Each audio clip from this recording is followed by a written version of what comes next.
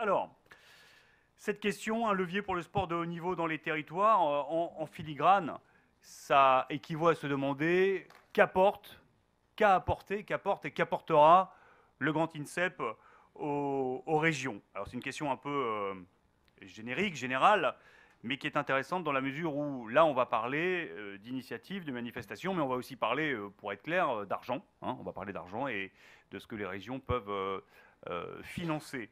Euh, je voudrais qu'on débute avec, euh, Patrice Béag du, du, de Poitiers parce qu'il y a eu un, repositionnement pour, votre CREPS, un repositionnement au niveau dans cette nouvelle région, la région Nouvelle-Aquitaine.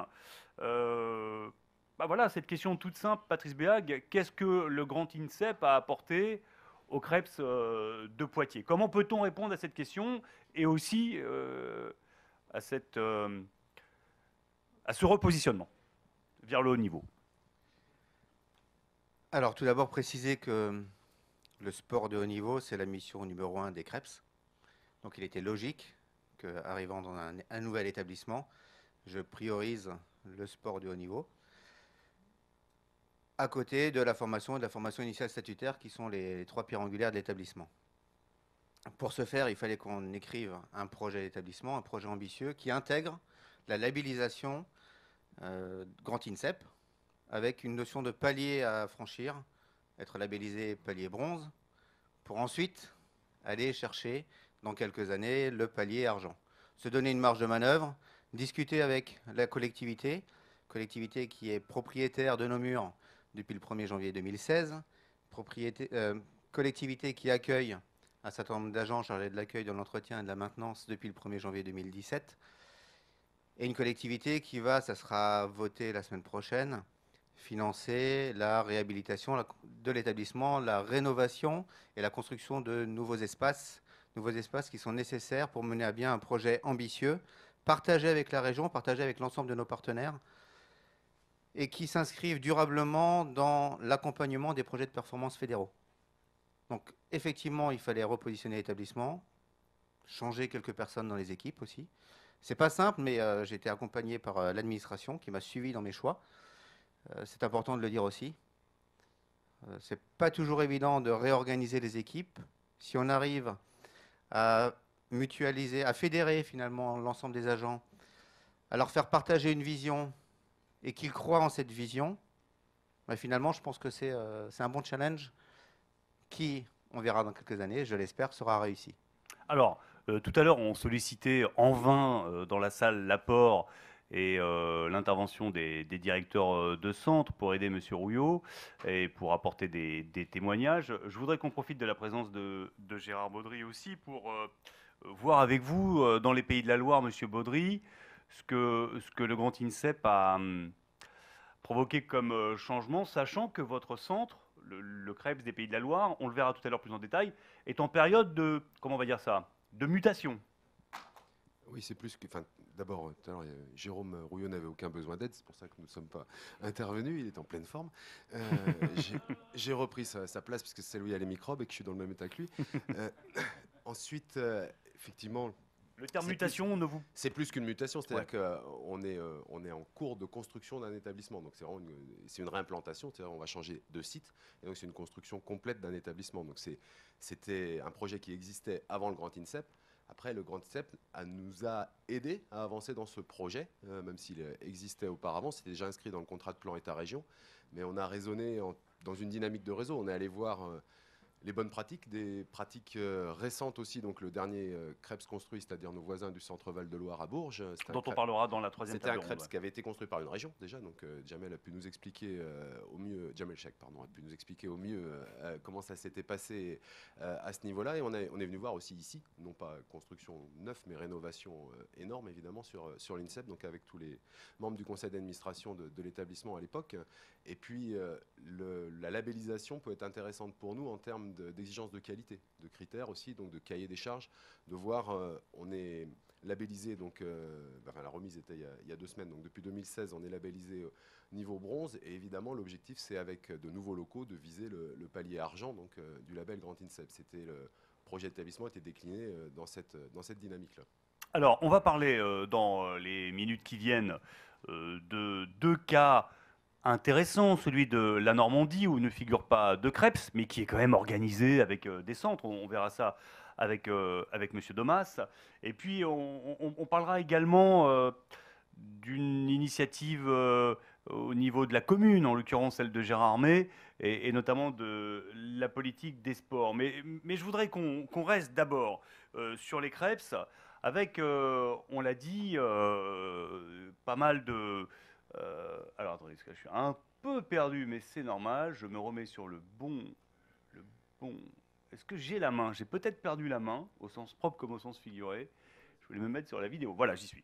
Euh, on a parlé de l'apport des, des, régions et on se pose la question est-ce que le Grand INSEP est un levier pour le sport de haut niveau dans les, dans les territoires? Je pense qu'il faut qu'on entende, M. Behag, l'intervention de Laurent Lenoir du Conseil régional de Nouvelle-Aquitaine. Euh, c'était le, le, le, 23 janvier dernier, ici même, lors de la remise des labels, la deuxième remise des labels. Et il dit des choses euh, assez intéressantes en un temps euh, record. Ça dure 30 secondes, c'est assez court. Je pense que ça a le mérite d'être clair. On l'écoute et on en discute après.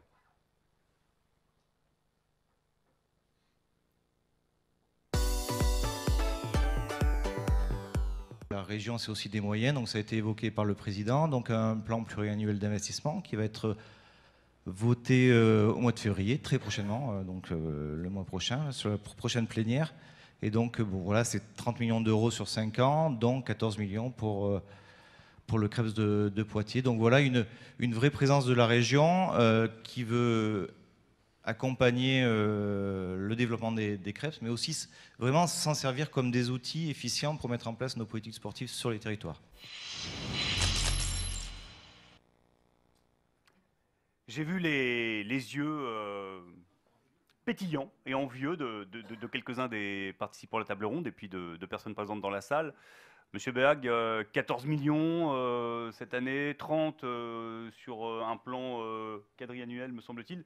Ce sont des montants colossaux. Bien évidemment, vous êtes conscient de, la, responsabilité que, tout cela incombe. Alors, c'est un plan pluriannuel sur 5 ans, 14 millions pour le Crêpes de Poitiers, 16 millions pour le Crêpes de Bordeaux. Donc euh, c'est la complémentarité des deux établissements qui fait qu'on aura un PPI voté, on l'espère, la semaine prochaine, c'est lundi prochain, le 13 février, euh, à hauteur de l'ambition de la région et des deux établissements pour euh, qu'on espère être une réussite, à travers aussi une autre décision qui sera prise un 13 septembre, cette fois, Paris 2024. Puisque vous doutez bien que une des questions qui a été posée par les services de la collectivité lorsqu'on travaillait sur et le projet d'établissement et le et le plan pluriannuel d'investissement, c'était c'est bien on construit, on réhabilite. Est-ce qu'on est en capacité d'accueillir des sportifs de niveau? Est-ce qu'on est en capacité d'accueillir des compétitions? Donc il y, a, une notion de rentabilité, de service rendu à la collectivité, euh, pas seulement à la collectivité néo-aquitaine, mais à l'ensemble de la collectivité française, pour euh, aller de l'avant et finalement montrer qu'on est et à Bordeaux et à Poitiers complémentaires et structurants de la politique sportive territoriale. 14 millions d'euros, est-ce que ça donne euh, le vertige? Pas du tout, puisque si on prenait le chiffrage complet qui a été fait par un cabinet d'audit, on était à une fois et demie ce chiffre-là. Donc euh, c'est raisonnable. Les 14 millions, ce sont des mesures qui sont réalisables sur le mandat des élus à ce jour, comme les 16 millions sur Bordeaux, avec des choses, alors euh, je vais peut-être en faire rêver certains, mais fin 2016, il y a d'autres crédits qui ont déjà été votés, un peu plus d'un million pour Bordeaux, 750 000 pour euh, Poitiers, sur des opérations qui étaient en gestation et qui là aussi ont fait l'objet de discussions permanentes avec les services, notamment la direction des sports, la direction de la construction de la région Nouvelle-Aquitaine. Ça donne pas du tout le vertige, hein. c'est structurant, ça répond à un besoin réel, en tout cas pour nos deux établissements. Et nul doute que ça répond aussi au projet du Grand INSEP, puisque dans nos établissements, nous avons des jeunes en devenir. On accueille aussi des sportifs qui perfent à l'instant T, qui étaient au jeu, qui, on l'espère, iront au prochain jeu ou à ceux d'après.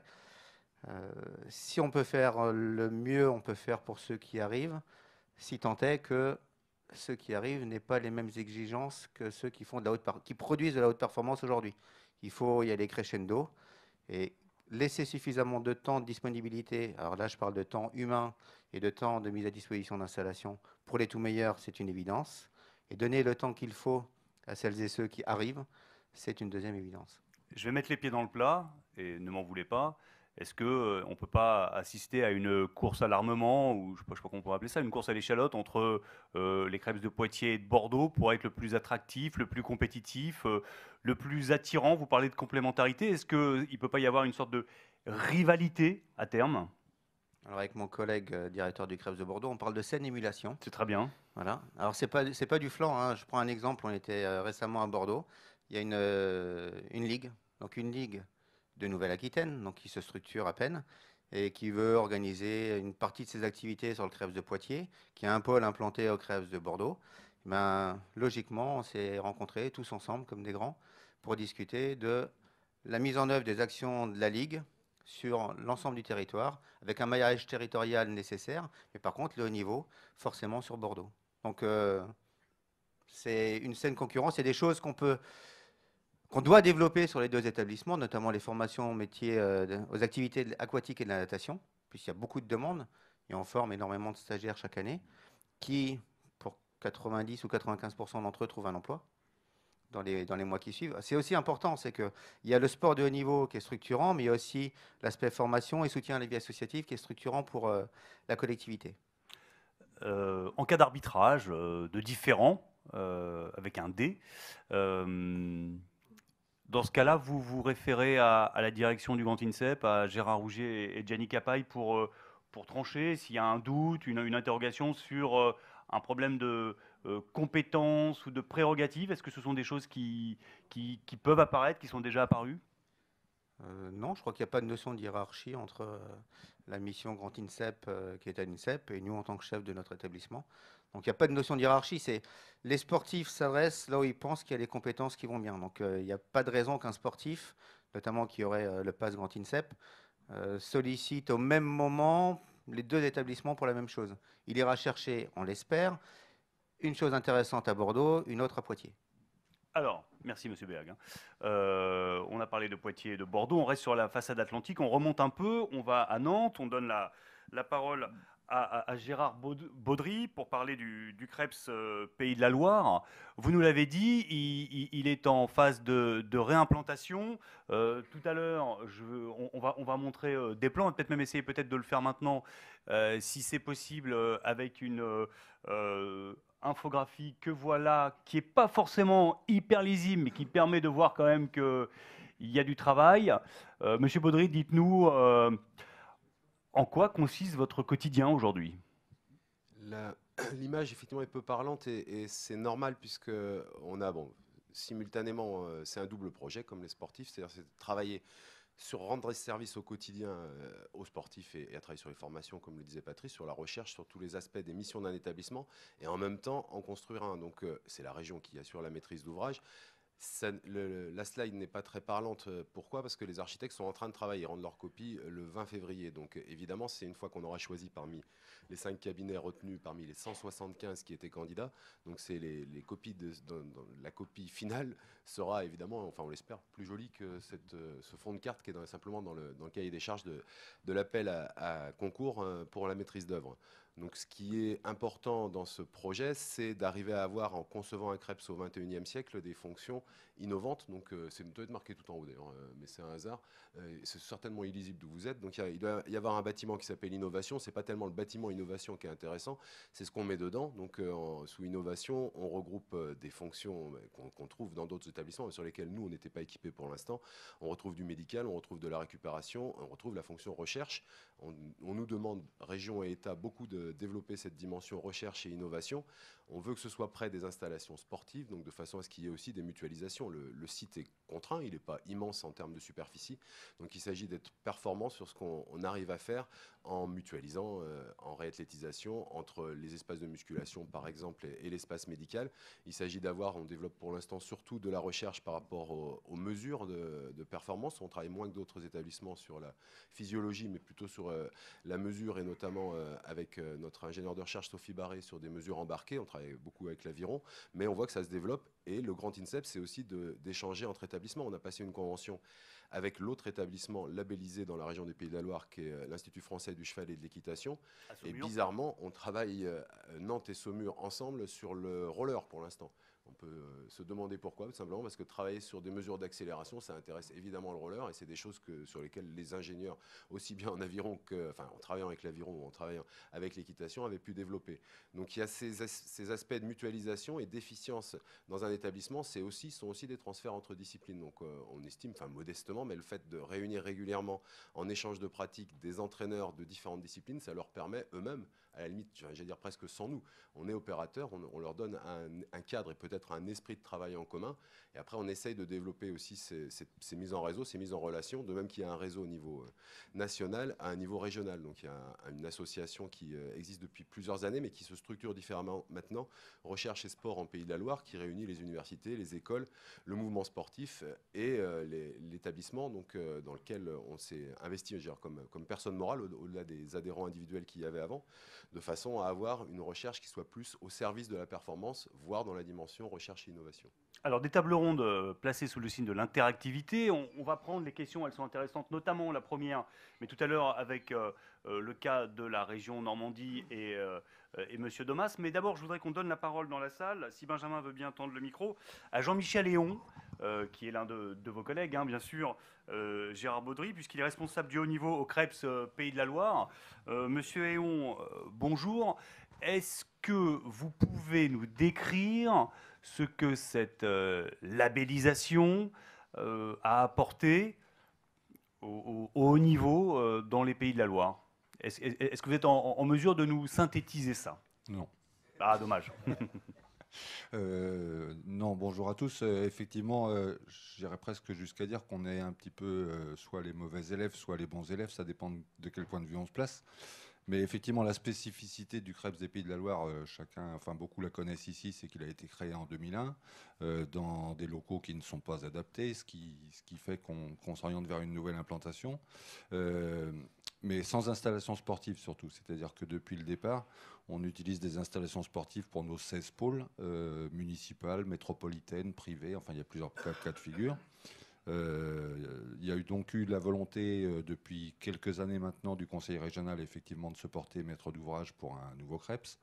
Euh, il y a aussi, à travers la conférence régionale consultative du sport, des relations étroites et privilégiées depuis longtemps entre l'État, l'établissement public, euh, l'État, l'ADR, donc euh, l'ADR JSCS, l'établissement public, le mouvement sportif et, là, j'irais même jusqu'à dire les collectivités territoriales, puisque les conseils départementaux et les métropoles sont largement associés à ce travail, pour lequel le, conseil régional a confié au CREPS l'animation de la sous-commission du sport de haut niveau. Donc, euh, j'irais j'irais presque jusqu'à dire que les relations avec les partenaires, elles existent depuis longtemps dans notre région, de façon très collaborative. Alors ceci dit, effectivement, comme l'a dit euh, Gérard Baudry, aujourd'hui on, se situe, nous, euh, l'établissement, au carrefour de deux réseaux. Euh, le réseau du sport de haut niveau, le réseau Grand INSEP, Mission Grand INSEP, etc. Et puis effectivement, on cherche à développer aussi, parce que c'est une commande régionale et depuis longtemps, des réseaux territoriaux alors que ce soit euh, dans tous les domaines de l'aide à la performance, puisque euh, je crois que c'est Dominique Laterate qui le disait tout à l'heure, c'est parfois compliqué pour un sportif euh, de venir perdre, une journée de trajet pour venir chercher une prestation à l'INSEP. Mais à, l'échelle d'une région, ça peut être aussi compliqué pour un sportif de, venir chercher une prestation au CREPS. et donc, et donc on cherche aussi à, faire en sorte, alors par différents moyens, et ça va me donner l'occasion de donner un exemple de ce, qu'on a pu faire, nous, par rapport au post Grand INSEP. Euh, donc, de, délocaliser les, prestations euh, sur les territoires, euh, sur l'ensemble du territoire. par exemple, Cindy Moreau, qui a, donc fait une médaille de bronze aux Jeux paralympiques en paracanoë, a été suivie pendant toute sa préparation par notre préparatrice mentale. Alors, euh, ça a été l'occasion d'une vingtaine de rencontres sur les dernières semaines avant les, Jeux. Euh, quand je dis de rencontres, c'était parfois des rencontres physiques, mais parfois des rencontres par Skype. Voilà. et donc, on cherche à développer des réseaux, que ce soit dans le domaine de la préparation physique, de la réathlétisation, de la préparation mentale enfin, dans différents domaines de, ce que peuvent apporter les établissements euh, aux fédérations. Merci à vous. Alors, euh, parmi les questions que vous nous avez adressées et qu'on peut euh, relayer, il y a celle qui apparaît en, haut là, de, l'écran. Le grand INSEP a-t-il un effet sur les relations, avec, les relations des CREPS pardon, avec les directions régionales? Monsieur Domas, avant d'attaquer plus en détail le cas euh, de la région Normandie qui est euh, singulier. Qu'avez-vous envie de répondre à, cette question-là? euh,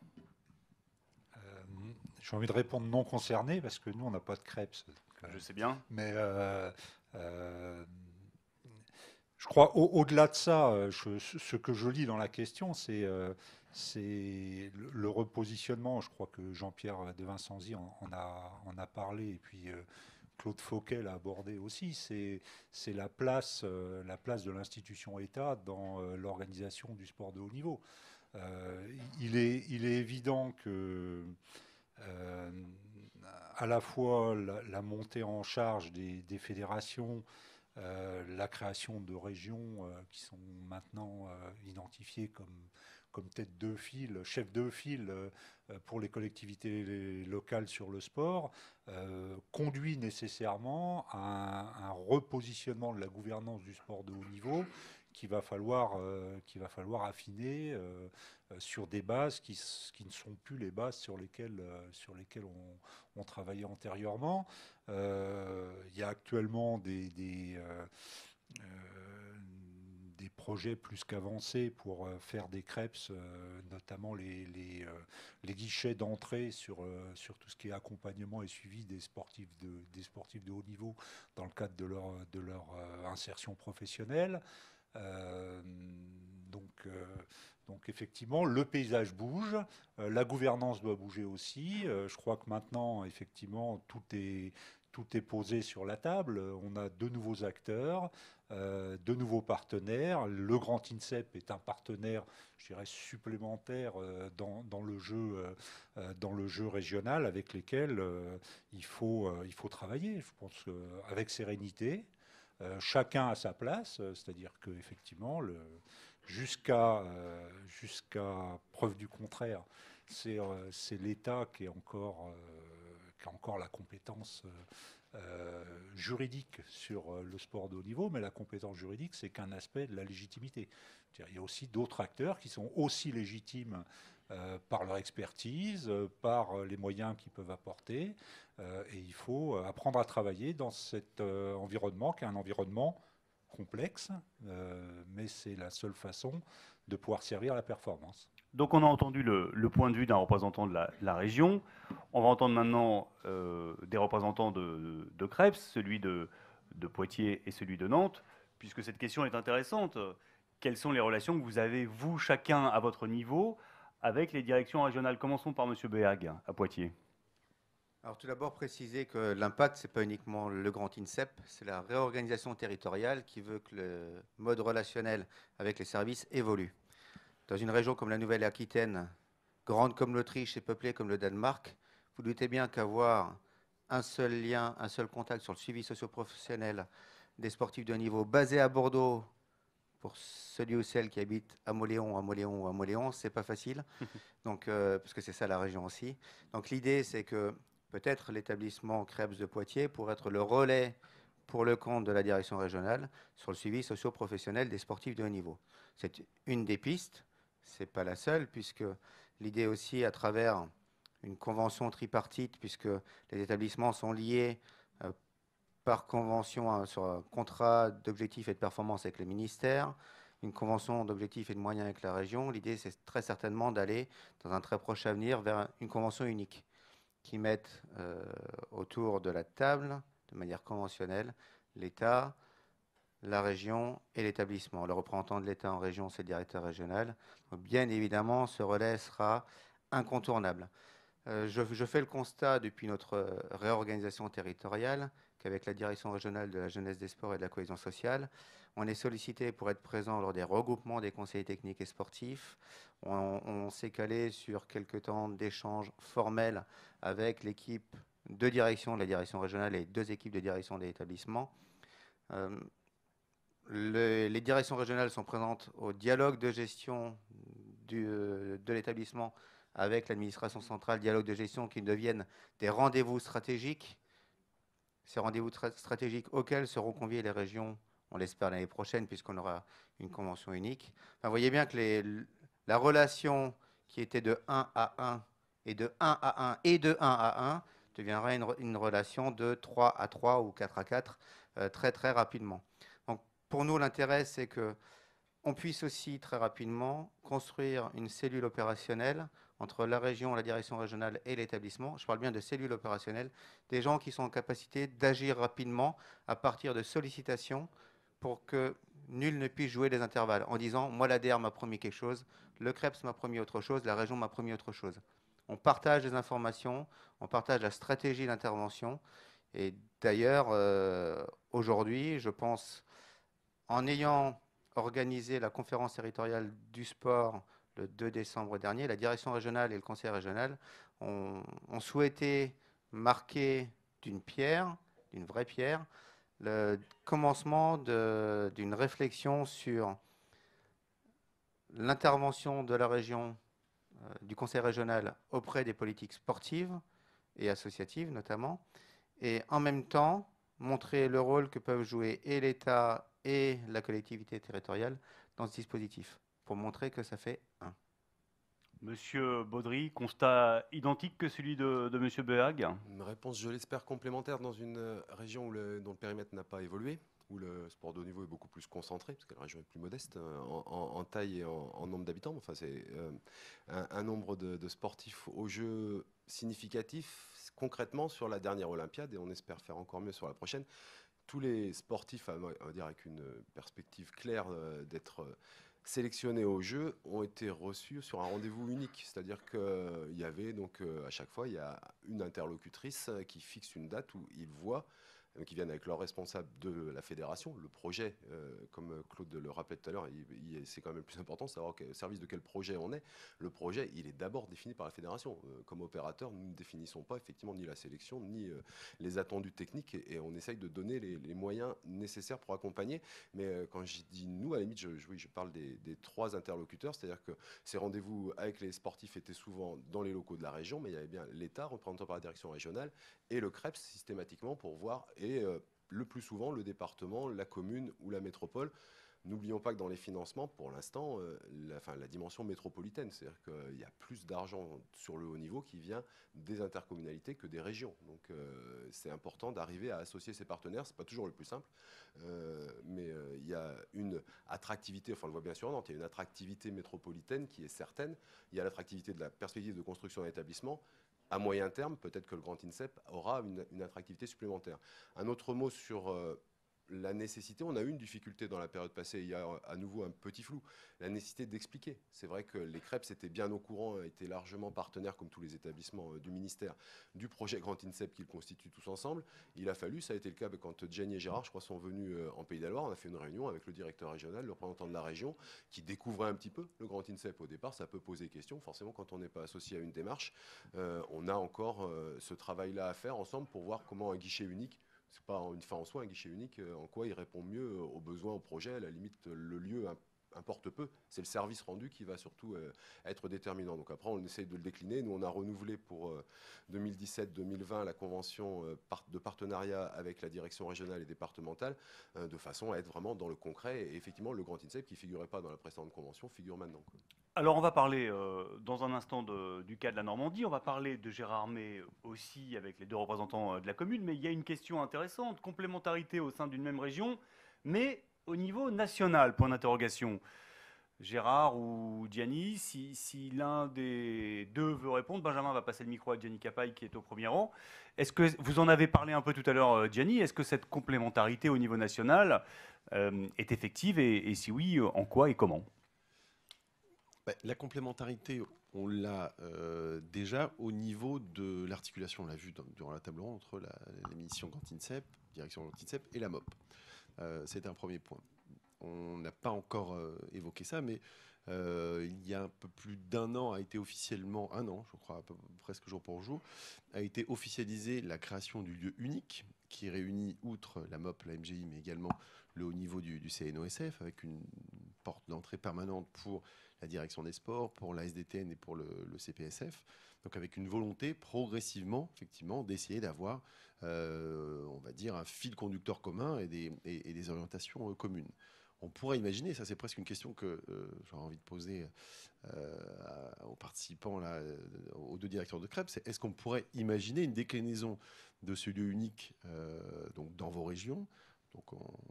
On ironise souvent avec, euh, notamment avec Jean-Michel sur le, sur le petit lu, sur le petit lu nantais, sachant que Oui, le lieu unique est un endroit formidable à Nantes le de, unique, concerts, d'expositions où on mange très bien.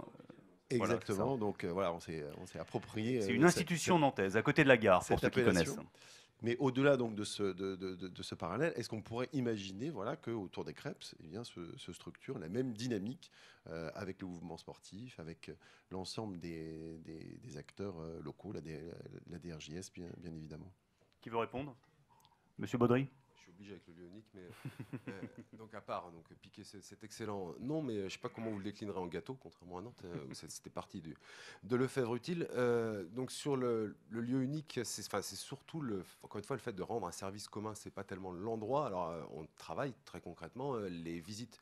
Ça répond aussi euh, aux, complémentarités euh, services de l'État et opérateurs de politique publique partagée, parce qu'on n'est plus opérateur que de l'État, mais opérateur de l'État et de la région. Maintenant, euh, les visites, les suivis des, structures dans les PPF vont être faits conjointement par la direction régionale, le CREPS, euh, Jean-Michel et son, collègue correspondant régional du sport de haut niveau à l'ADR, et également, je pense qu'on va aller vers là, euh, avec, le, collègue euh, directeur des sports à la région. On va certainement, on est, on est au bord, c'est-à-dire que là, on voit bien déjà les visites des fédérations, il y a plusieurs DTN dans la salle, quand ils viennent en Pays de la Loire, en général, puisqu'on a, contrairement aux autres, euh, un lieu de restauration, c'est au CREPS que ça se passe, mais c'est une réunion unique. euh, Là aussi, c'est répondre euh, à, bah, à des impératifs de temps pratiques pour les DTN et au souhait des différents partenaires locaux d'entendre le même discours. Il y a toujours une petite méfiance de savoir si on ne va pas deux fois demander le même argent. Parfois, alors jamais les fédérations, mais parfois le mouvement sportif local. Arriver à faire ça, ça va être de moins en moins possible. Les budgets publics sont contraints, l'argent public est précieux, donc il n'est pas question, effectivement, pour l'un de donner sans savoir si l'autre va suivre.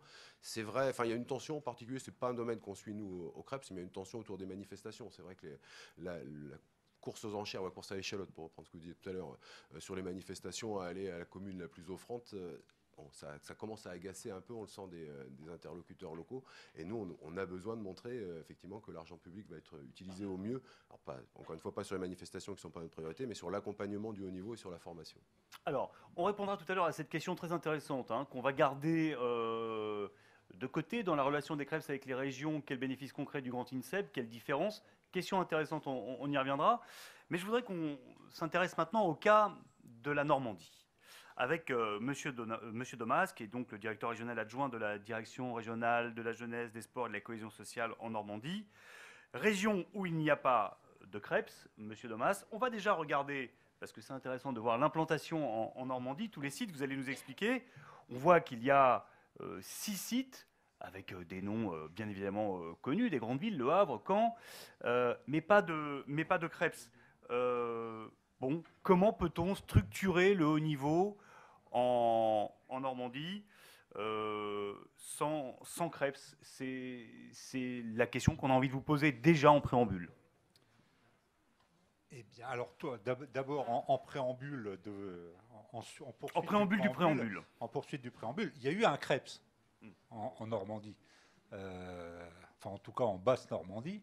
Euh, et euh, ce, ce Krebs a été fermé comme un certain nombre de ces d'autres établissements, euh, en particulier en s'appuyant sur euh, euh, l'absence de pôles de pôles d'entraînement de sport de haut niveau implantés sur cette structure. Donc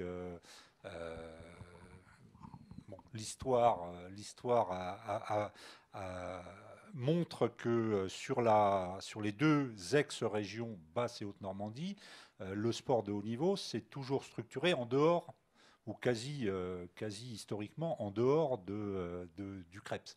Voilà. Même si le CREPS euh, a toujours été un lieu... euh, Malgré une existence euh, malgré, auparavant. hein. malgré une existence auparavant et malgré le fait que le CREPS a accueilli, a accueilli et le CSN maintenant, puisque, puisque c'est désormais le, le- nom de la structure qui a succédé au, au CREPS, accueille régulièrement des, euh, des équipes de France, notamment en judo, euh, sur la préparation des compétitions internationales. Donc euh, il n'y a, a pas de césure entre Oulgat et le, et le sport de haut niveau. Voilà. Pour autant, effectivement, sur, sur la région Normandie, euh, la structure qui existait, le CREP, c'était une structure qui était euh, très éloignée des centres euh, scolaires, universitaires, des pôles de vie des athlètes. Donc, ce qui fait que, effectivement, le, le sport de haut niveau s'est construit en dehors, de, en dehors, du, en dehors du CREPS. Euh, Mais tel comment, mais comment le réseau normand euh, se développe-t-il voilà. Alors, la, la question, euh, la, la question, euh, la question actuelle, c'est globalement, maintenant, on a un territoire qui est un territoire unifié, sur lequel il y a des structures qui existent, hein, qui accueillent. Alors, sur les, sur les six structures qui, euh, qui sont sur la carte, euh, donc il y a une structure qui euh, va bientôt ouvrir, c'est euh, le, centre d'accueil des sportifs de haut niveau à Caen, qui va ouvrir en septembre 2017 à la rentrée scolaire.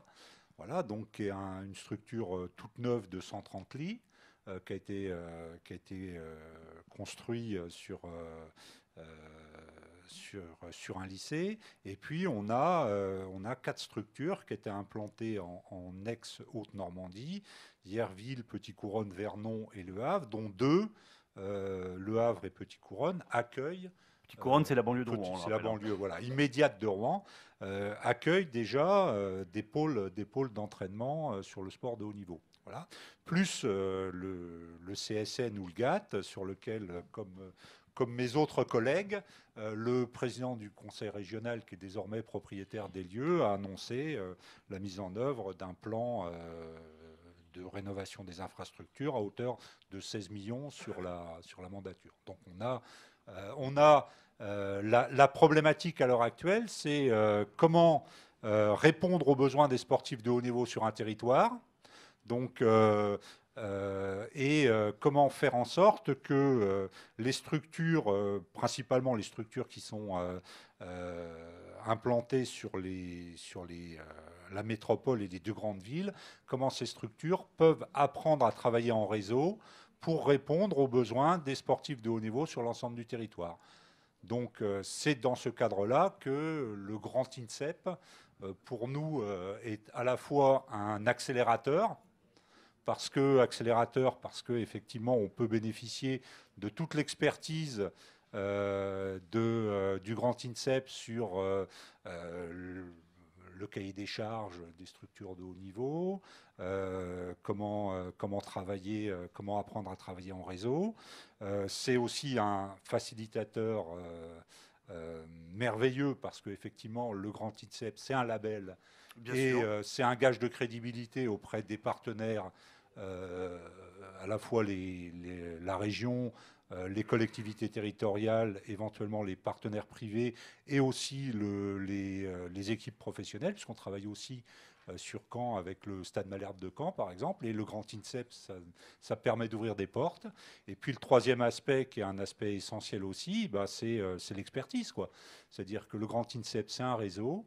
Euh, ça nous permet, euh, d'avoir euh, euh, un catalogue d'interventions et un champ de partenaires possibles euh, qu'on ne pourrait pas avoir si on était euh, tout seul dans notre coin en essayant de, construire quelque chose. Alors très bien, donnons la parole euh, euh, dorénavant, si, si Benjamin le, souhaite, à, Marc Collier, qui est le coordinateur sport du haut niveau Centre sportif de Normandie sur le site de Caen, on en parlait tout à l'heure, et qui appartient lui, aussi bien sûr à, la direction régionale. Euh, comment, Monsieur Collier, euh, fédérer, coordonner, dynamiser par moment les, structures et les relations entre les six centres qu'on a vus sur la carte au préalable Ça ne doit pas être facile tous les jours. Il doit y avoir beaucoup de travail de coordination à mener. oui, bah, tout à l'heure sur la première table ronde, euh, je, crois le directeur d'un CREPS qui évoquait euh, l'intérêt notamment du projet Grand INSEP comme un moyen de enfin, dynamisant un peu le management des équipes. Moi, je trouve que voilà, le projet Grand INSEP, en tout cas pour la Normandie, euh, moi j'y vois un double intérêt. Un, sur quand on est passé là d'une logique où il y avait des structures d'entraînement labellisées, mais qui, je dirais, avaient l'habitude de s'organiser un peu tout seul. Voilà, donc euh, je dirais à la fois la construction d'un établissement, mais aussi euh, le fait de travailler sur un projet commun pour rentrer dans le cahier des charges qui est proposé par le Grand INSEP. Bah, ça a permis euh, un travail en commun et puis des changements aussi de, pratiques professionnelles. Et à l'échelle de la Normandie, entre les, structures d'appui que sont Caen, Petit Couronne et Le Havre principalement qui accueillent le sport de haut niveau, bah, c'est, euh, je dirais, l'élément euh, commun qui nous permet facilement de partager nos pratiques professionnelles. Voilà, Petit Couronne est une structure qui existe depuis très longtemps. Et ben, moi, ça me permet aussi de m'appuyer, enfin d'échanger avec, par exemple, le CRGS de Petit Couronne sur les, pratiques professionnelles liées au, haut niveau. Voilà, donc c'est principalement un, un élément euh, fédérateur et structurant euh, à la fois dans le travail en commun avec les structures d'entraînement, mais aussi entre, euh, nous. La, dernière chose, mais ça a été évoqué, c'est que moi je trouve qu'au niveau de ce, projet-là, vis-à-vis des institutions qui ont pu financer et qui financent le, sport de haut niveau, le label Grand INSEP euh, nous a aidé à la fois dans euh, des financements sur le fonctionnement, mais aussi sur euh, l'investissement. Voilà. Merci, Monsieur Collier. Il y a une question qui est en, ligne depuis tout à l'heure et à laquelle j'aimerais bien qu'on réponde, puisqu'elle est au cœur de la problématique. C'est la dernière, là. ça fait un, petit moment qu'elle apparaît. Dans la relation des CREPS avec les régions, quel bénéfice concret du Grand INSEP et quelle différence? C'est une question très intéressante. J'aimerais que quelqu'un se, lance, se mouille pour pouvoir répondre. Gianni nous a déjà répondu tout à l'heure, peut-être euh, Gérard Rougier qui, est à, la tête euh, du Grand INSEP. C'est quand même l'une des questions qui anime cette deuxième table ronde, Gérard. Euh, bénéfices concrets et quelle différence, selon vous? Ah, Selon moi, bah, dans un premier temps, les, bénéfices concrets, à, mon avis, c'est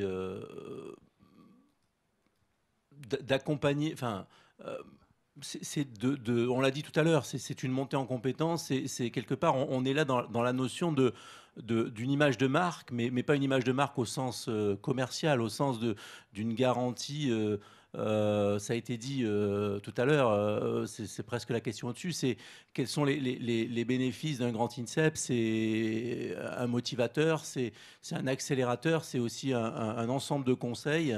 Euh, le terme accélérateur est assez imagé et euh, je, trouve, sympathique.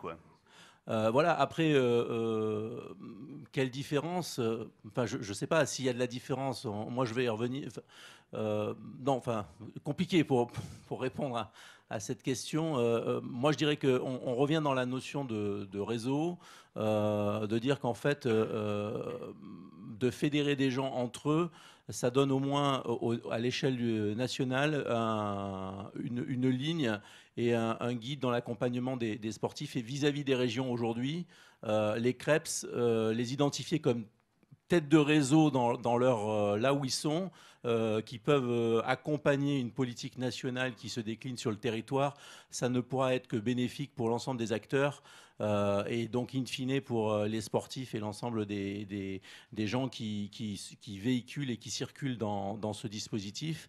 Et Jean-Pierre l'a dit, euh, dans le cadre de la décentralisation aujourd'hui, les régions ont besoin d'acteurs, d'interlocuteurs, de, références qui puissent au moins les, les, les, questionner et les accompagner dans ce qu'il faudra faire demain sur l'ensemble du territoire pour accompagner la performance. Voilà.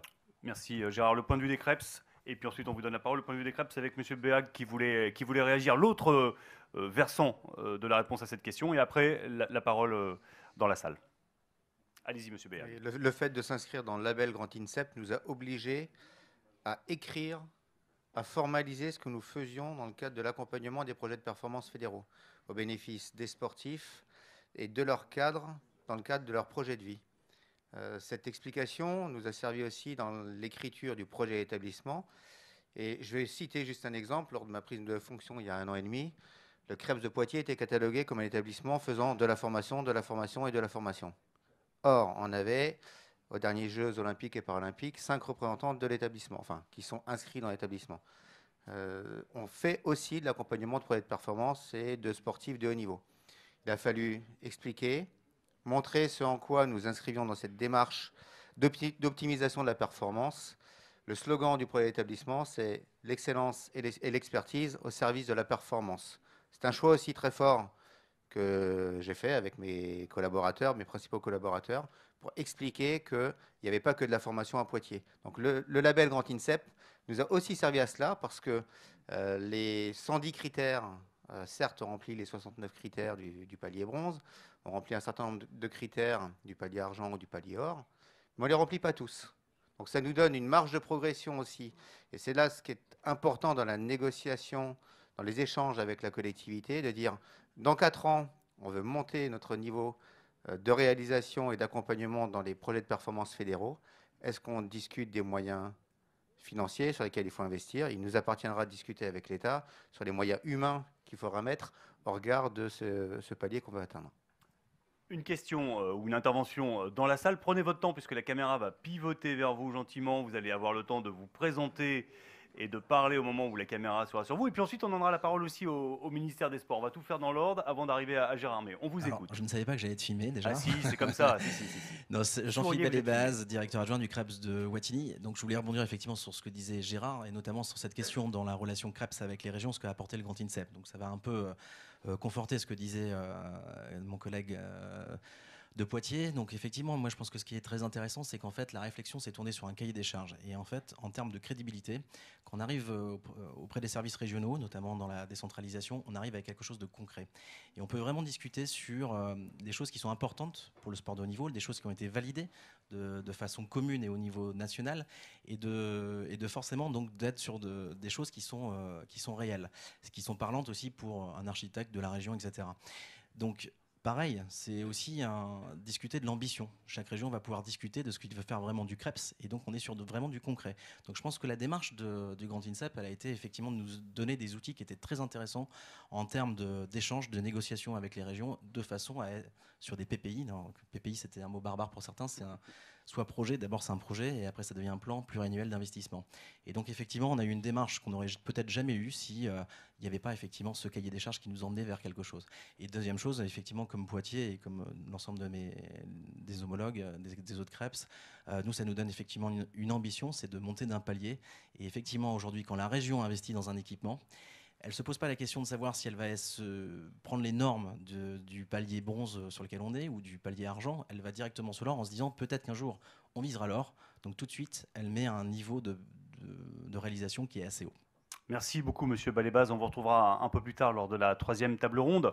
Euh, Peut-être l'occasion de donner la parole au ministère des Sports à Baba Kamir euh, Tamasseb, qui, représente le, ministère aujourd'hui. Vous avez assisté à une heure de débat sur les relations entre la région, les CREPS, euh, le Grand INSEP. On a vu des régions, des cas différents, des régions où des CREPS sont présents et d'autres où elles ne le sont pas. Quel est le, le regard du ministère par rapport à tout cela? Euh, alors, le, regard du ministère, euh, j'ai envie de dire, ça fait déjà plusieurs mois qu'il y a des réflexions qui sont menées autour de, ces projets. Il y a eu, euh, premièrement, au mois d'octobre, et bon nombre d'entre nous dans cette pièce euh, y ont contribué. Il y a eu la mission territoire métier, euh, le premier volet de mission territoire métier sur le haut niveau, qui a fait un état des lieux un peu des, besoins. Ensuite, il y a eu les états généraux du sport de haut niveau qui, qui ont proposé un certain nombre de préconisations où, bien sûr, euh, la place du sport dans les régions est évoquée dans, plusieurs des préconisations retenues. Et, euh, enfin aujourd'hui, euh, Sébastien Sobzac à ma droite qui, qui travaille sur le sujet encore du deuxième volet de mission territoire métier sur la place des ch- chefs de pôle sport des directions régionales.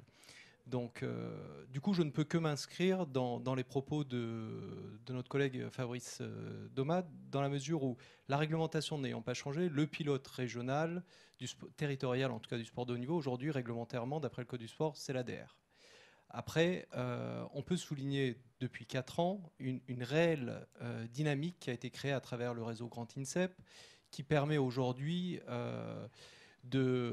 d'insuffler vraiment un renouveau du sport de haut niveau dans les territoires. Et je le dis euh, d'autant plus euh, précisément qu'avec euh, ce que ce que certains ont précisé ici, euh, l'organisation territoriale de la République, les DR ont parfois été démobilisés, les agents ont été bougés, et, et du coup, les établissements. En, en fait, il y a eu des courbes opposées. quoi. C'est que les DR ont, ont été sur, sur une pente un peu déstructurée, et le Grand INSEP a été sur, sur une pente euh, très constructive. Quoi. Donc aujourd'hui, euh, pour, pour commenter un peu. Ça, le- ça a été euh, un retour qui vous a été fait? C'est un retour terrain euh, sur euh, le sentiment parfois un peu de désarroi ou d'abandon que vous décrivez de la part des, des gens qui travaillent à la, à la direction régionale? Des difficultés en tout cas. Des difficultés, sont- oui, d'accord. Plus que abandon, c'est Mm. un peu fort Mm, peut-être. mm. Euh, En tout cas, des difficultés, oui, des difficultés structurelles du nombre d'agents, des difficultés euh, par rapport à- aux directives que nous, même euh, administration centrale, euh, pouvons envoyer. Donc euh, ça, c'est une réalité. Aujourd'hui, je pense que l'enjeu, euh, comme on le disait, hein, euh, nous travaillons tous, quel que soit le réseau, hein, que ce soit euh, l'administration centrale, les services déconcentrés, les établissements, le grand INSEP et même les fédérations, nous travaillons tous au service du sportif, au service des objectifs qu'on a pour que nos sportifs soient euh, les plus compétitifs. Donc euh, l'enjeu aujourd'hui, c'est que nos réseaux, euh, nos trois réseaux, en tout cas du côté organisationnel, donc direction régionale, établissement et collectivité, puissent œuvrer dans le même sens que le travail qui est mené en fédération et euh, bien sûr euh, les sportifs de haut niveau. Euh, la construction de tout ce schéma pour demain, là je, vais peut-être passer la parole à mon collègue qui, est dans le groupe de mission territoire métier actuellement et les conclusions ne, sont pas encore tirées. La construction ne peut aller que dans ce sens. Et je, reprends les propos de, Gérard tout à l'heure à, la- question quelle plus-value finalement au Grand INSEP? Très schématiquement, le Grand INSEP, c'est la garantie d'avoir un niveau de qualité. Après, le niveau de qualité dépend du, du label. C'est d'avoir euh, un service euh, qui est proposé aux sportifs de haut niveau médaillables que la MOP euh, détermine. Et, euh, et c'est une opportunité, j'imagine, pour les établissements de, de présenter leur PPI et, et de, et de monter en compétences. quoi. Peut-être Seb. Un petit mot? Oui, bonjour. Sébastien Sé- Sébastien Sobzac de la direction des sports. Ce à quoi nous sommes vigilants dans le cadre de cette mission territoire métier, c'est bien sûr nous, euh, direction des sports, de faire le lien avec les fédérations et que ce qui guide l'ensemble des acteurs sur le territoire, ça soit anciennement les PES et bientôt les PPF. Voilà, donc euh, au regard de- de- des différents audits qu'on peut exercer sur les, sur les territoires, on s'aperçoit que c'est voilà, autant dans les directions régionales, dans les établissements, c'est quelque chose qui est, euh, qui est entendu et qui est perçu de cette façon. Il est nécessaire vraiment que l'ensemble des acteurs, je pense aux collectivités, aux conseils régionaux, là on a l'exemple de deux régions où ça se passe bien, il y a de la communication, sur les Pays de la Loire il y a une commission, une conférence territoriale du sport, les acteurs se parlent, ce n'est pas forcément le cas partout, et voilà, nous, notre mission, c'est aussi d'être vigilants à ce que euh, eh bien, les établissements et l'ensemble des acteurs sur le territoire exercent une certaine complémentarité en termes d'action euh, des ressources humaines et financières pour accompagner en fin de compte l'objectif euh, des projets de performance fédéraux. Voilà, donc c'est vraiment l'accompagnement des fédérations qui doit primer. Et évidemment, bah, si le Grand INSEP euh, peut répondre aux problématiques des fédérations sur les territoires et que ça correspond à l'implantation des différentes structures euh, et que ça répond à la vision de la fédération sur euh, comment elle doit s'y prendre en termes de mutualisa- mutualisation de moyens pour permettre l'atteinte de ces objectifs, à ce moment-là, effectivement, on sera dans le vrai. Donc voilà, nous, on, on reste vigilants sur ces aspects-là. Merci à vous deux. Vous avez répondu euh, en grande partie à la, première question. On va répondre aux, autres questions. On a réclamé de l'interactivité. Elle arrive. Et euh, tant mieux. Elle arrive de la salle et elle arrive effectivement euh, de la part des, gens qui s'inscrivent sur les réseaux et, qui posent des questions. Je voulais qu'on redescende encore un peu notre zoom, hein, notre microscope, qu'on l'avance d'un cran pour cette fois-ci s'intéresser aux, communes avec les représentants de la commune de Gérardmer, bon, qu'on connaît hein, dans, dans- les Vosges, on en a déjà parlé pour le festival du film fantastique qui vient de se, de se terminer, me semble-t-il. On, on a avec nous Jean-François Duval, euh, l'adjoint au maire, et puis euh, Pierre Sachot, le président de l'association sportive des sports d'hiver de, de Gérardmer. Et vous avez mis en place une initiative que j'aimerais bien que vous nous décriviez dans un premier temps avant qu'on en débatte. C'est à vous, on vous écoute. Bonsoir.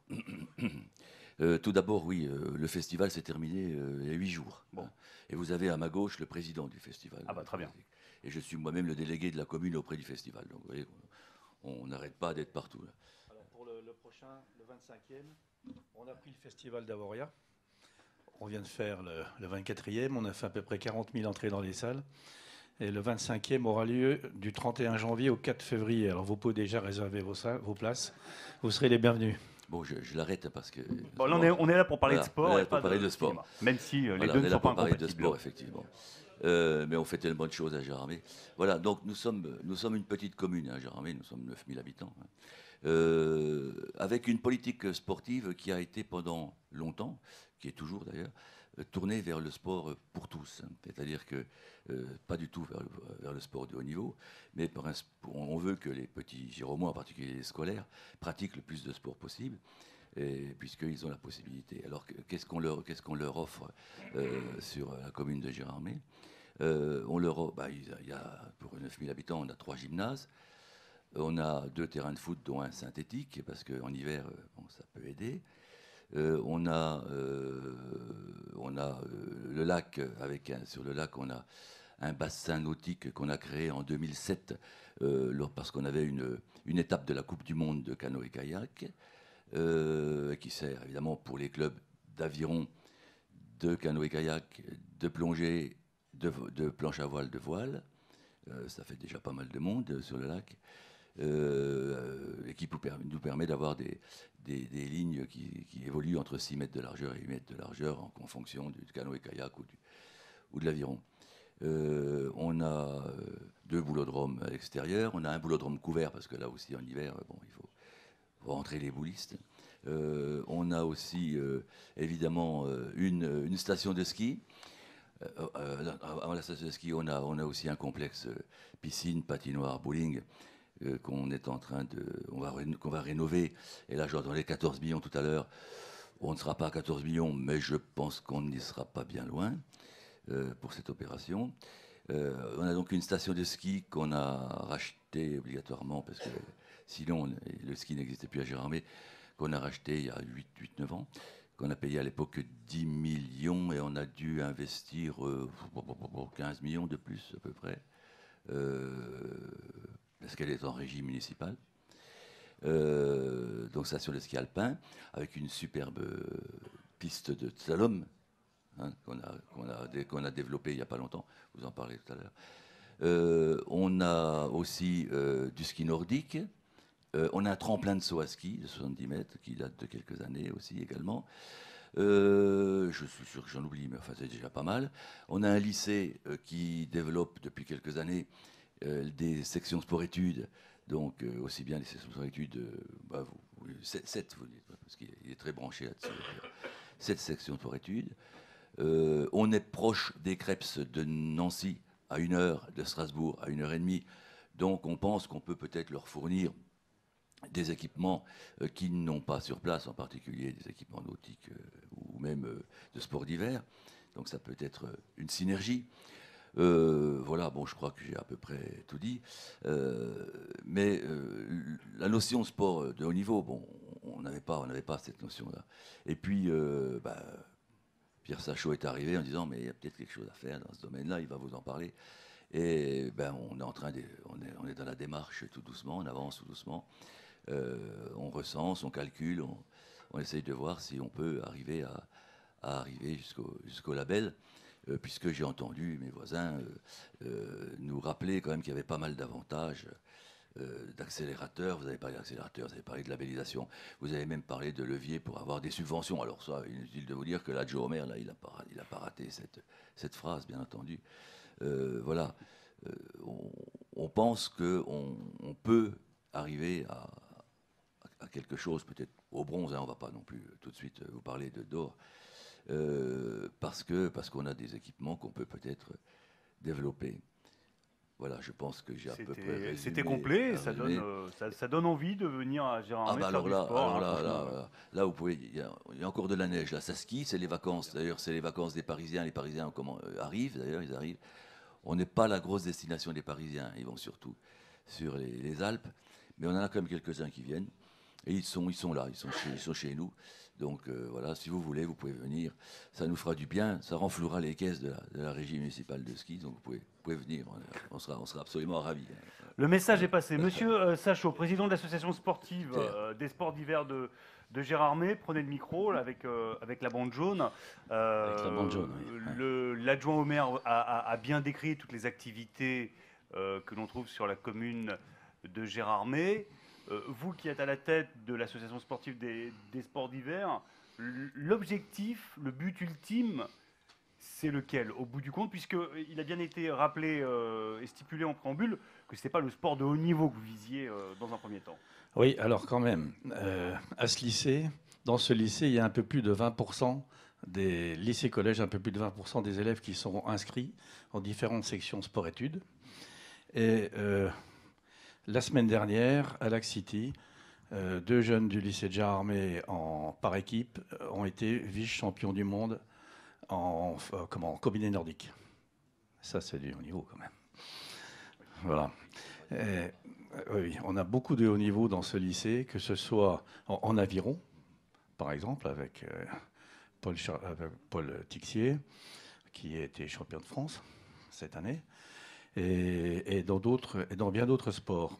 On a fourni euh, aussi des, membres, on fournit beaucoup de membres d'équipe de France, mais surtout euh, au niveau euh, ski, que ce soit biathlon, descente, saut, et actuellement avec des Maxime et Fabien, Florent et compagnie. Voilà, ce sont les montagnes vosgiennes qui fournissent tout ça.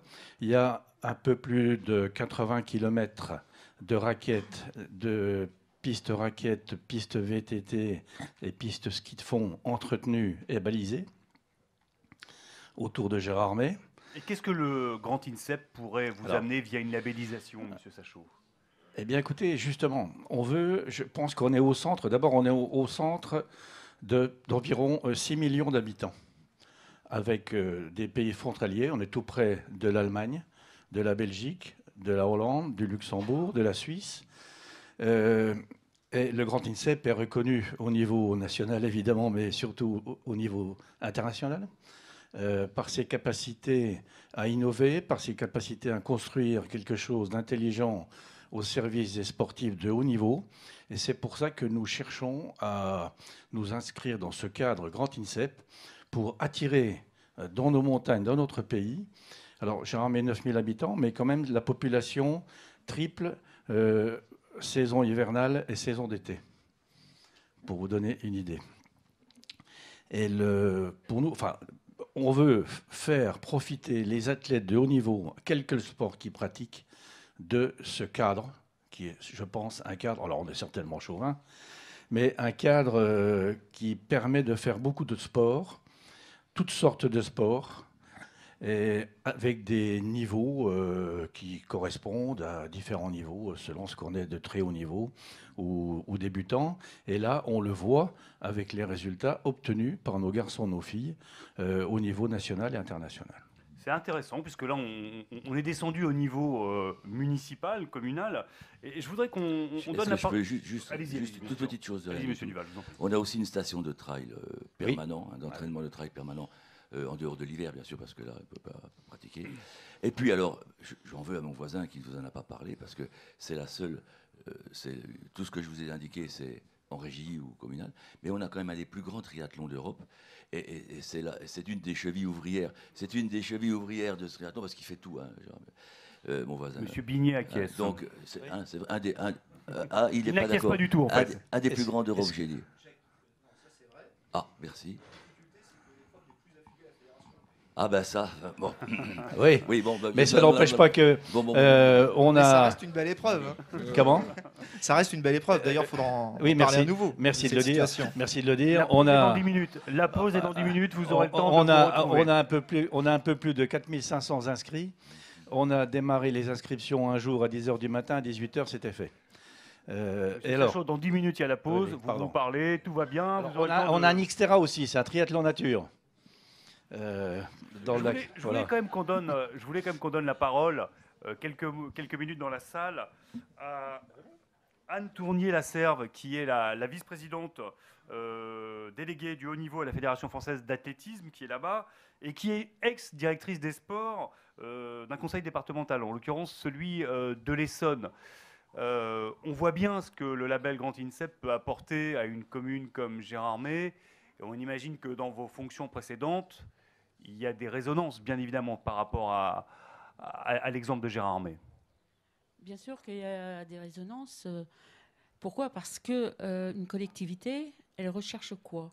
Elle recherche une certaine image, qu'elle soit reconnue, qu'elle soit reconnue dans, sa région, si c'est une, ville, un conseil départemental ou bien une agglomération ou une métropole, et surtout qu'elle puisse garder euh, ses sportifs de haut niveau.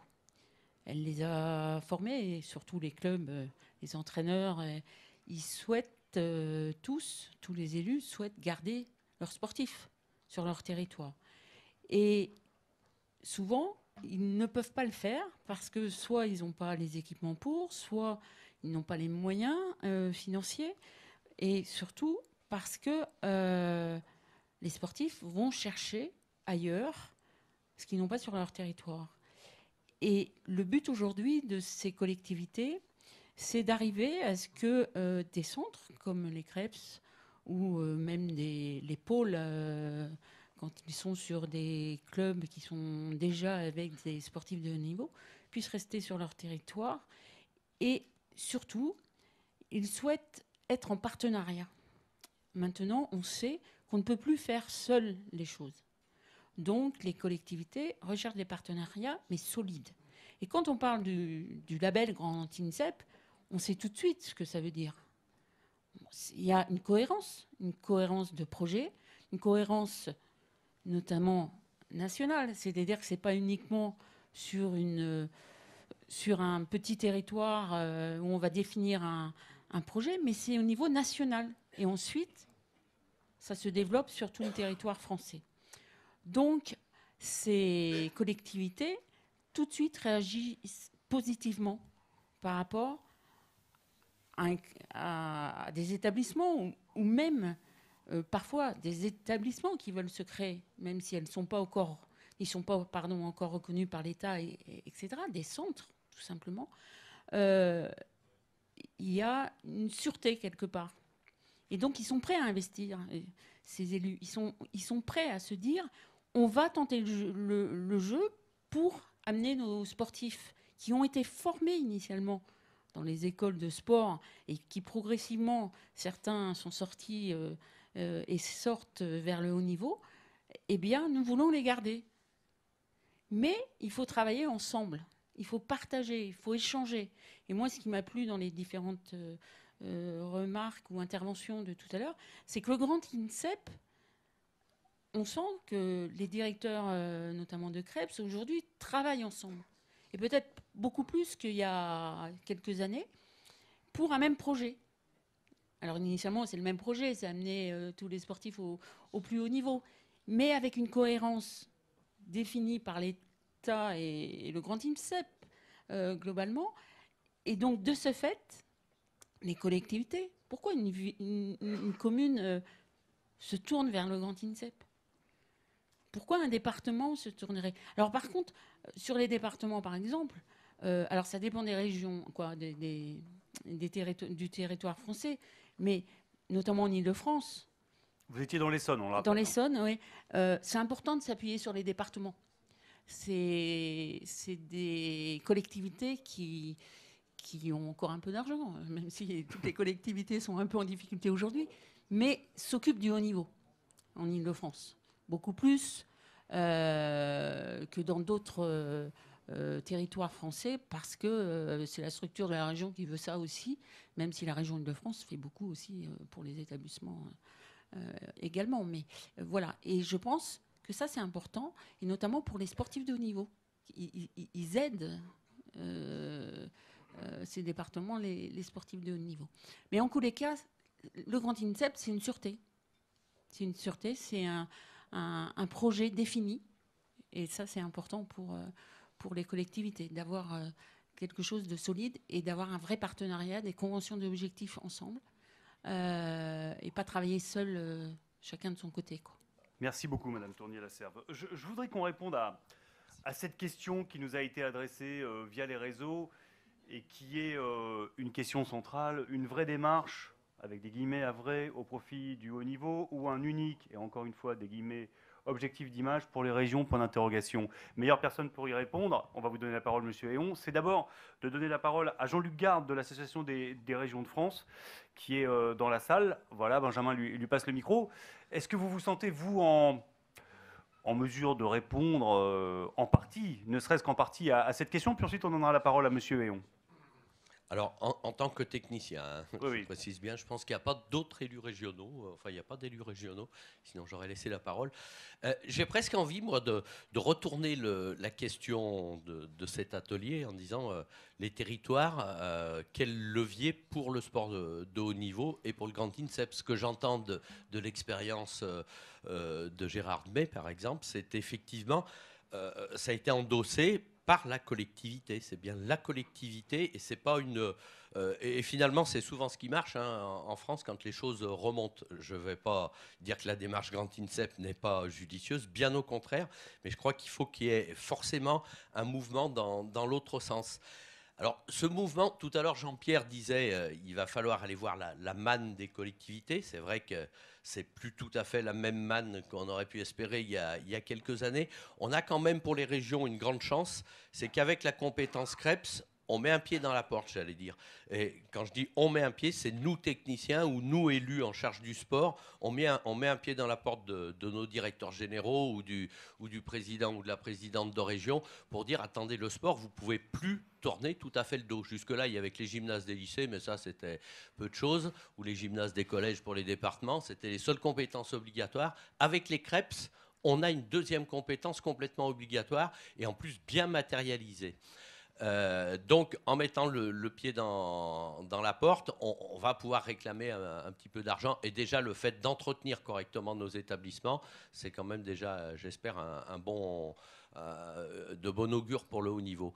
En revanche, euh, l'exiguïté des finances, d'une part, euh, et la très mauvaise connaissance qu'ont les régions euh, du sport de haut niveau sont vraiment des facteurs euh, qui- qu'il va falloir euh, atténuer. N'importe quel président de région va vous citer par cœur la composition de son équipe de foot favorite ou de son équipe de basket. Par contre, il connaît au mieux un ou deux sportifs qui sont dans ses pôles. Il les connaît au moment où ils partent au JO. Et là, on a un vrai problème de, de reconnaissance. Et pour euh, aller un peu dans le sens de ce que disait Jean-Pierre tout à l'heure, c'est pas tellement la manne financière des régions qu'il faut aller chercher pour ça, pour cette reconnaissance. C'est plus dans les compétences des régions, notamment la compétence de formation, la compétence de proximité du monde économique. Euh, moi, je, viens d'une région Auvergne-Rhône-Alpes où on n'a pas effectivement de, pratiquement pas de haut niveau dans, les crêpes. hein. Le, haut niveau, il est plus euh, euh, à, l'ENSA ou surtout maintenant au nouveau centre national de ski de, de haut niveau d'Albertville. Il est aussi dans d'autres pôles euh, non montagne, mais plus sur Lyon, Grenoble ou Saint-Étienne. Il n'est pas dans nos deux crêpes de, Vichy et ou il n'est pas ou peu dans nos deux crêpes de, de Vichy et Vallon-Pont d'Arc.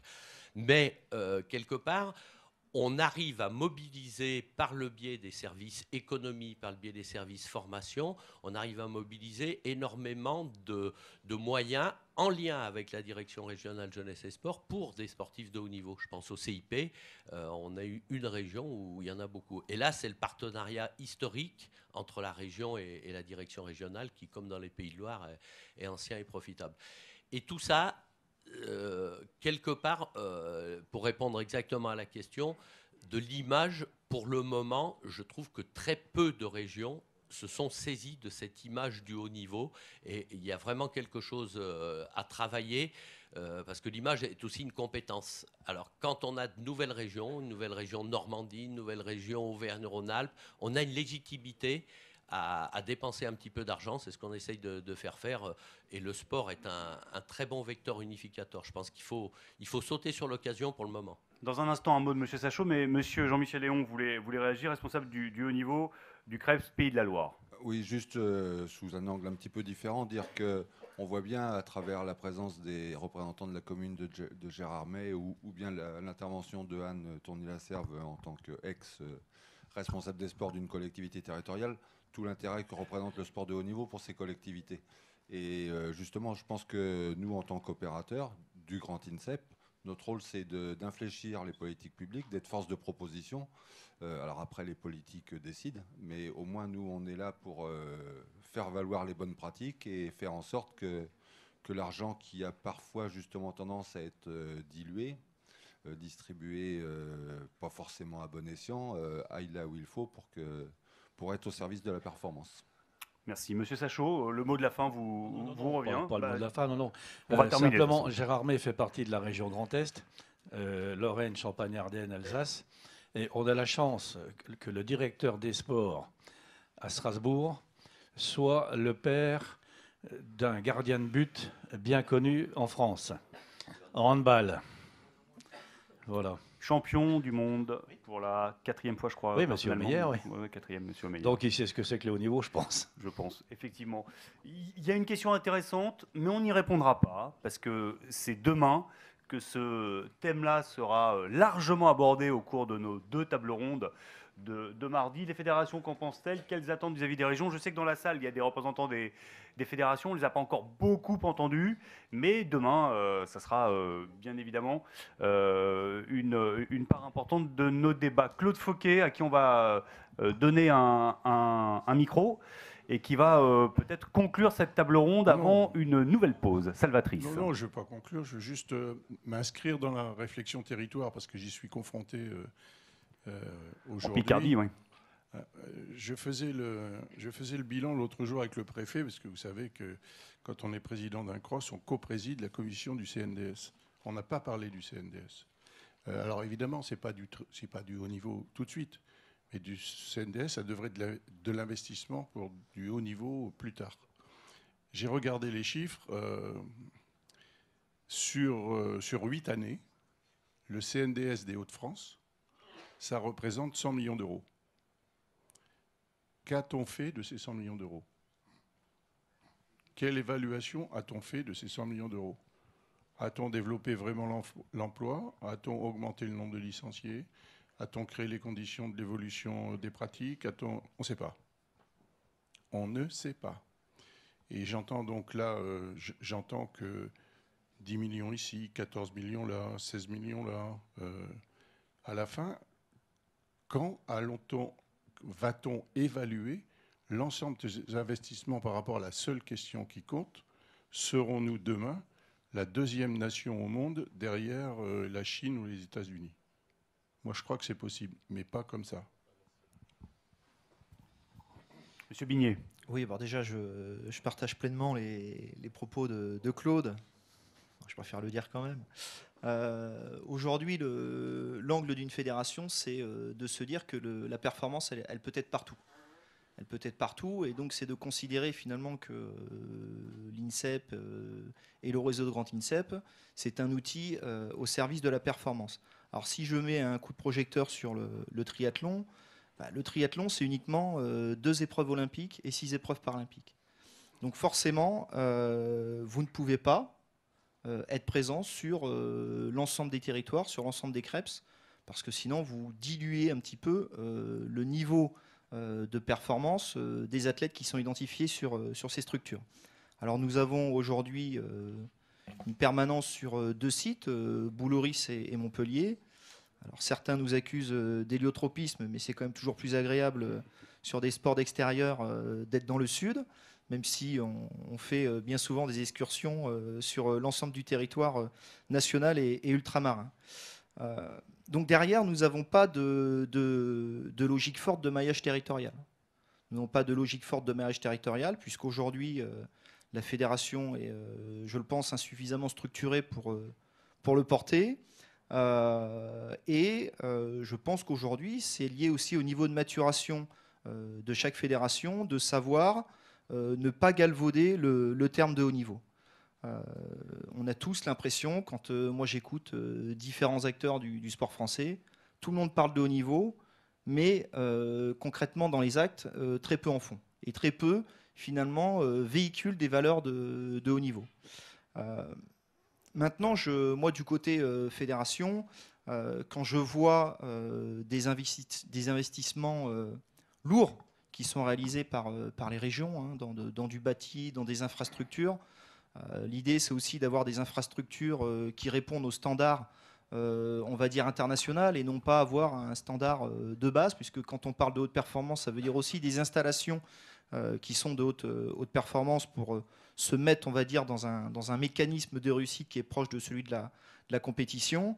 Je pense qu'aujourd'hui, il faut responsabiliser les fédérations et leurs organes déconcentrés. Donc je parle certes du technique, mais aussi et surtout du politique. Aujourd'hui, euh, on ne peut pas, à travers euh, des euh, changements de, de présidence ou des opportunités politiques, aller et venir dans les structures que, met, que supporte l'État et que supportent également les régions. Aujourd'hui, je pense qu'il faut le parler, le dire. Il faut que l'État euh, porte ce discours. Il va falloir que les régions aussi euh, sensibilisent les présidents de fédération pour euh, travailler sur cette notion d'ancrage. Euh, quand vous avez. Euh, nous, en triathlon, il n'y a, pas a plus de crêpes qui ont de, qui ont de piscine. C'était ce que disait Claude il y a maintenant euh, plusieurs. Ils disent heureusement. Moi, des fois, je dis malheureusement parce que ça, induit des coûts, euh, ça induit des coûts supplémentaires euh, pour la fédération. Euh, mais aujourd'hui, il y a cette prise de conscience qui est nécessaire. Et puis, euh, Gérard parlait d'innovation. Alors, l'i- l'innovation, moi, j'ai ma définition, hein, c'est simplement d'améliorer l'existant. Et donc, c'est quelque part une, une quête euh, permanente. Mais d'un autre côté, l'innovation, oui. Mais il y a un terme anglais qui est très simple à comprendre, c'est back to basics. Voilà. C'est-à-dire qu'aujourd'hui, euh, c'est bien beau euh, de savoir euh, comment il faut régler la température du gymnase pour que le, volant circule à la bonne vitesse. Mais aujourd'hui, parfois, moi, le ressenti que j'ai de, l'utilisation des crêpes, hein, j'ai été un usager en tant que sportif, entraîneur et maintenant DTN, parce que quand on fait des colloques, bah, ça nous remet une bonne dose de, réalité quand on va dans, certains crêpes. Les, ba- les- les bases aujourd'hui, c'est bien manger, bien dormir. Voilà. Et je crois qu'il faut aussi que les crêpes euh, se mettent euh, en mouvement pour répondre à ces commandes qui sont simples, mais qui aujourd'hui sont difficilement mises en œuvre parce qu'elles ont aussi des contraintes euh, qui sont liées au statut des établissements. J'aurais d'autres réflexions, mais sur la première thématique, mais j'en les parlerai garde pour tout à l'heure à, Voilà. 19h pour la restitution. Merci à vous, Monsieur Bignet. Bien, c'était une, euh, une table ronde intéressante. On est donc descendu d'un cran. On s'est intéressé au territoire, à la, à la logique territoriale, au, au- au rôle des régions.